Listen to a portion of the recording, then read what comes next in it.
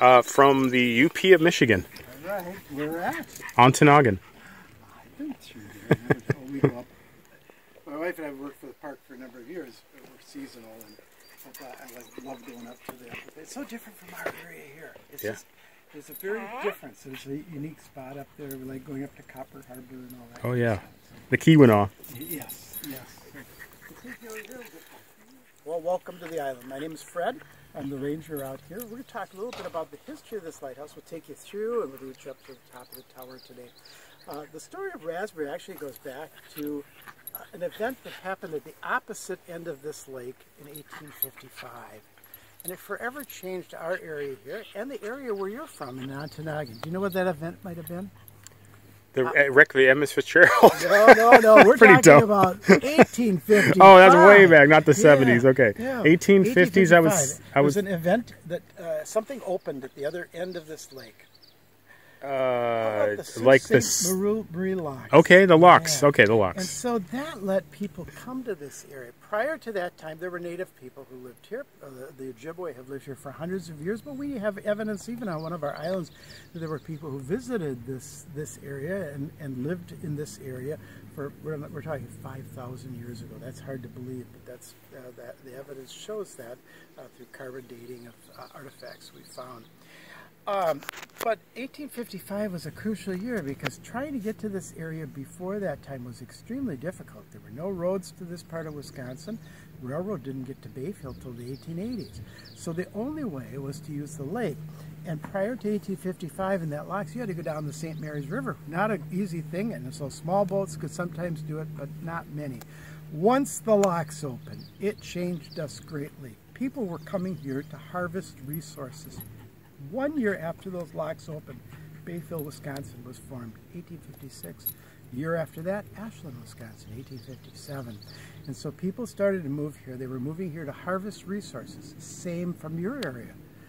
So if you think about what resources might they have been after, can you name any of them for me? Oh, like uh, lumber and Lumber's quarry and mining and Yeah, copper. And, all, yeah. Okay, add one more fish. But uh, uh, yeah, so they were building cities further south, and so they were interested. They knew there were copper deposits and iron ore deposits on the Michigan-Wisconsin border.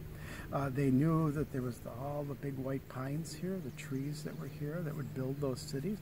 They, they knew that there were uh, deposits of brownstone, and uh, they were on this islands, and they were also on the mainland here, and they were going to eventually harvest those. So- So people started coming here to harvest those resources, and so they came by boat. And whenever there's boat traffic, there's hazardous areas or areas that are difficult to maneuver through, and so that's the call for lighthouses. So our first lighthouse was going to be called the. I'm going to do this a little longer. Yeah, please. the- our first lighthouses in the Apostles was uh, going to be called the La Pointe Lighthouse. And if you know where La Pointe is, it's Yeah, on Madeline just- Island. yeah. And uh, they they felt they needed it there uh, to to mark the entrance to uh, La Pointe and eventually to Bayfield there.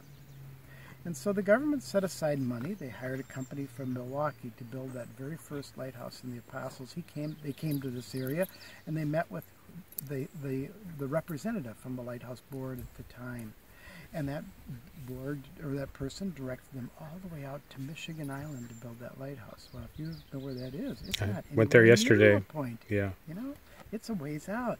And so they constructed that very first lighthouse. They hired the lighthouse service, hired a keeper. He started work. And then a few months later, the inspector came through to inspect this brand new lighthouse to order, to, to accept payment and to pay the company.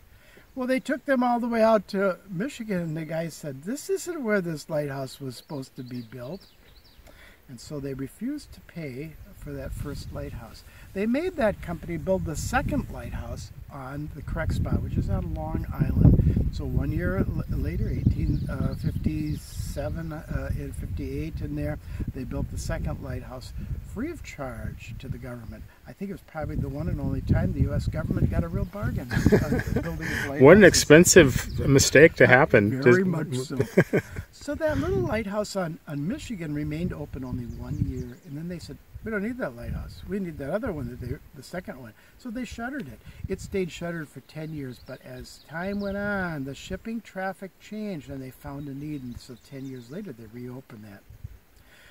1859, there was a group of, of uh, mariners who petitioned the U.S. government to build a lighthouse here at Raspberry. The reason this lighthouse was petitioned uh, to build was because of a little island out here. You can't see it. It's because that building is in the way. It's called York Island. And the ships would go around York Island on the right-hand side and make two turns to come into this channel. This is known as the West Channel. It was a major shipping channel in the early years. And uh, they had trouble making those turns, particularly at night. You might ask, well, why didn't they go through this channel? You can see the open channel between that second island, that's Sand Island, and the mainland. Uh, that's because it's very shallow. There's sections over there that are only six, seven feet deep. Big boats, no way. Had to go around the two islands to come into the channel here. Government set aside this island as a lighthouse reserve, 1859. The lighthouse was constructed in 1862. It opened one year later, and you might say, well, what the heck's that all about? Why would they leave a lighthouse sitting? It's ready to go. Well, the key element of uh, for a lighthouse was missing. What would that be? The Fresnel lens? Yes, very good. the Fresnel lens was missing. It was shipped from, from France, of course, where they were all made at the time, and it got lost along the way here. Well, it took a while, but they found it. It was in a warehouse in Detroit, Michigan. They shipped it again and it uh, eventually got here, but not until 1863. This lighthouse opened July 21st, I believe, of 1863. So it became the third lighthouse in the Apostles. The house that you're looking at is not the original, but parts of it do come from the original. It's on the exact same spot. Some of the materials were used uh, over again, but it was enlarged. And that, that enlargement into what you're looking at today took place a number of years later, 1905. You might say, well, why did they have to build a bigger house? Because that's a pretty substantial house. You walked around it, you saw it. It's fairly large. Mm -hmm. First house, very small. One family lived here in the early years. Well, through the years, things changed, and they felt a need to add more and more staff here. And the biggest reason was the building of this large brick building that you see over here. Uh, this is called the fog signal building.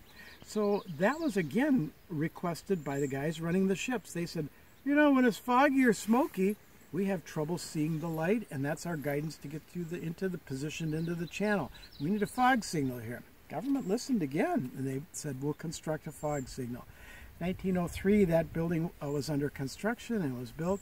Inside of that building, originally two steam engines run by coal would build up steam. Whistles were sounded at the top of the of the building.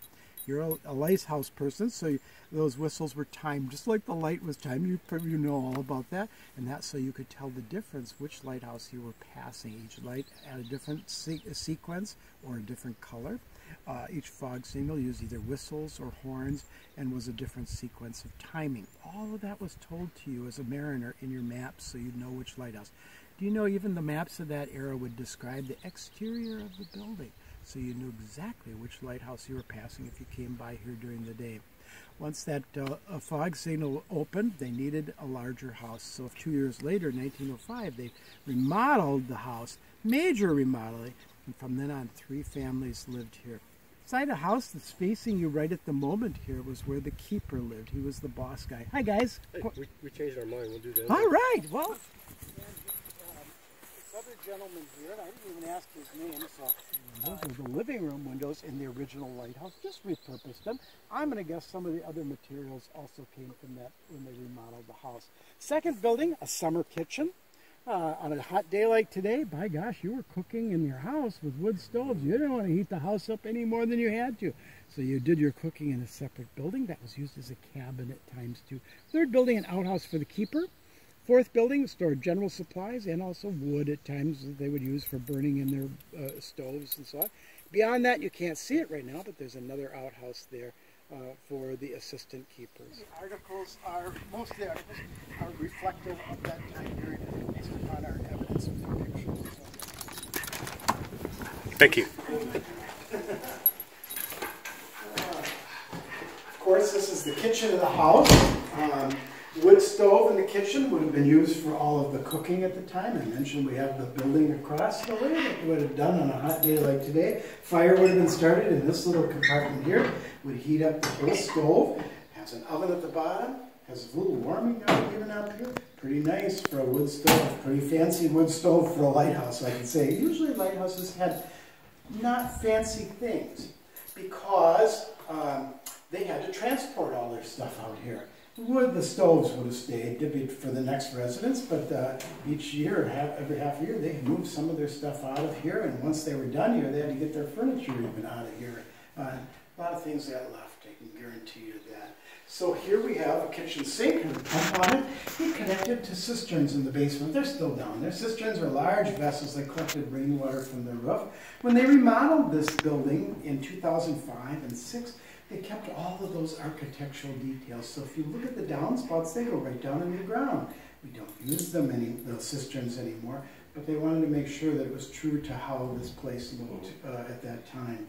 Uh, no refrigeration, of course, out here. Uh, in 1922, everybody had an ice box, and you uh, had an iceman come to your house if you lived in Ontonagon. I didn't ask where you guys are from.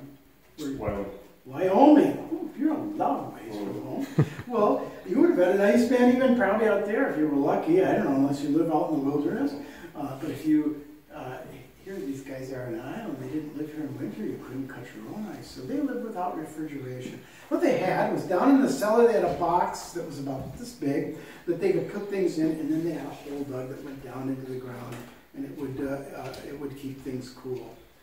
Two doors here. First door goes to the cellar. Second door is, is a, uh, uh, a um, pantry. We're going to walk through a pantry. That'll take us so this room, of course, is the dining room of the house. Um, a place to eat, but you can see that it was also an office for the keeper. One of the duties that the keeper was required to do every day is write in the logbook. We still have the logbook that tells what the stories of what happened here every single day this was an active lighthouse.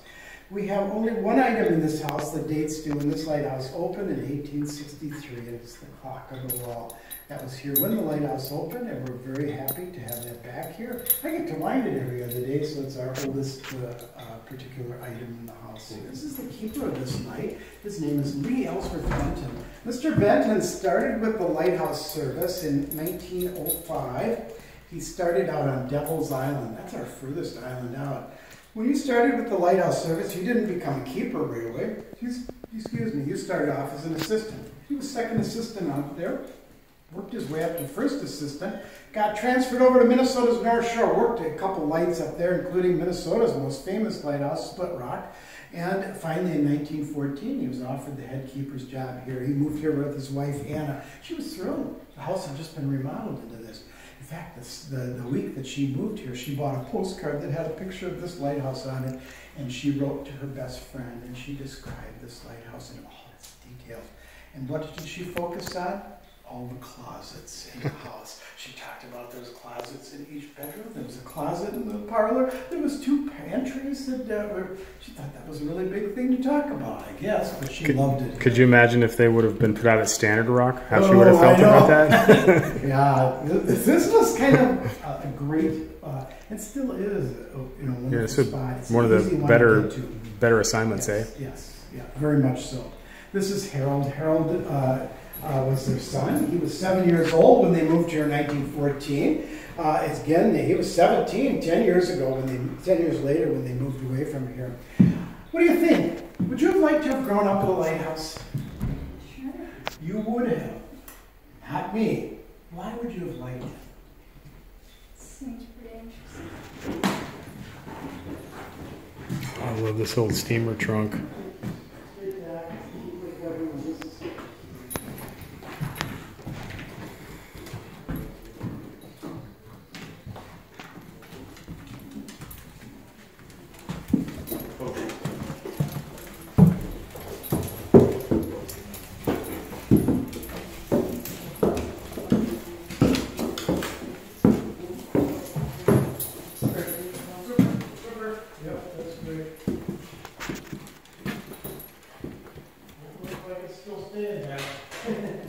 Crazy about how Talk about a few things, so that's why we, we do it back there. This is the light that was up in this tower for many years. It's in a museum today over on the Island Island State Historical Society Museum. It was removed from here in 1957 and placed there. This is pretty close to size. It was a fifth order Fresnel lens. I'm doing a little more detail than I normally would talk about. Order refers to the size and they ran from one to six, plus a middle one that was a three and a half. That's what they had out at Michigan Island, by the way. It's in our headquarters, park headquarters in Bayfield. And so this was one of the smaller, fifth order. It was only lighting this channel, so it didn't have to be seen way, way out. The lens refers to this inner piece here. These are prisms at the top and at the very bottom of this light, single pieces, and they were glued or cemented together. And they were designed to bend or refract light. And so the light would be produced originally from a small oil lamp inside of there.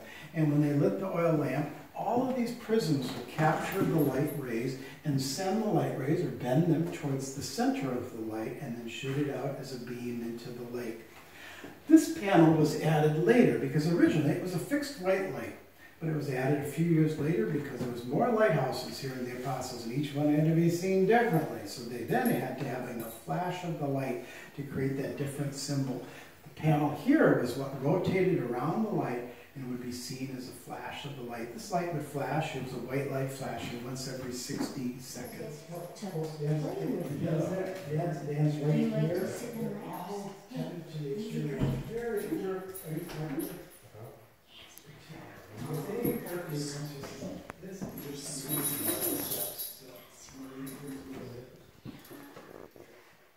Does she mind being picked up?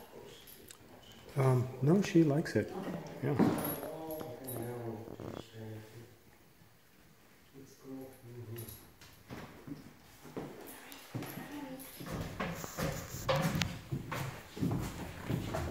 Again, this room was called the tool room. A variety of tools to be used lighting the light, for maintenance on the light. Uh, We have a ladder to climb. Please be careful as you go up. Use the handrails as you get towards the top.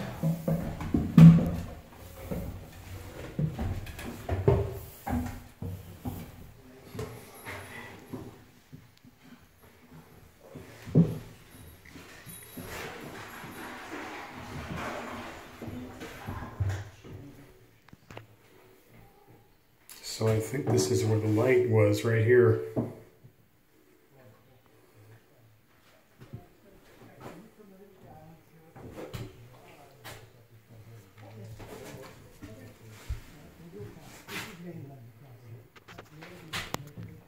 you go out the front door.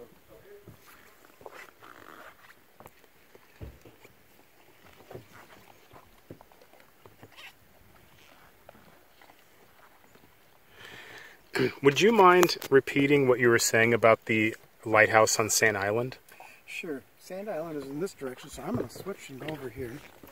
So, from the 18 later 1890s all the way through 1945, there was a community of people who lived on Sand Island year round. They were farmers and fishermen. There was also a lighthouse there on the north end of that island. That lighthouse was opened in 1881. It had only two keepers. It was only open for 40 years. First keeper stayed there for 10 years, and the second keeper stayed there for 30 years. And then they decided to shutter that lighthouse because it, grew, it be, just became of less importance. And by then, 1921, they had automation for lighthouses. They used acetylene as the lighting source, and they uh, it was an automatic system. Keepers here at Raspberry were in charge of that light. They built a trail. You can see where that trail goes right there. It goes out one mile out to an overlook. And way in the distance at that overlook, you can see the Sand Island light. And uh, they would go out just at sunset and make sure that light was lit. If it wasn't, they had to run back here, get in their boat, head out to sand, and relight or change the canister of fuel for that particular light. So that was the very first of the Apostle lights, lights that got automated. It was a unique station because it was the only one that really had a community of people right on that island there. So it kind of made it an interesting little spot there. Santa, uh, is there 21 or 22 islands? 22 are in uh, uh, 22 Apostle Islands. Okay. 21 are part of the park. The one that isn't is Madeline Island. Gotcha. And so when the park was created, Madeline had has decent population with a lot of summer homes, it would have been impossible to, to try to buy up that type of amount of property. So Madeline was kept separate out of the, uh, the, the, the national park here, but all the other islands are all part of the National Lake Shore. And is it Sand Islands in a different county?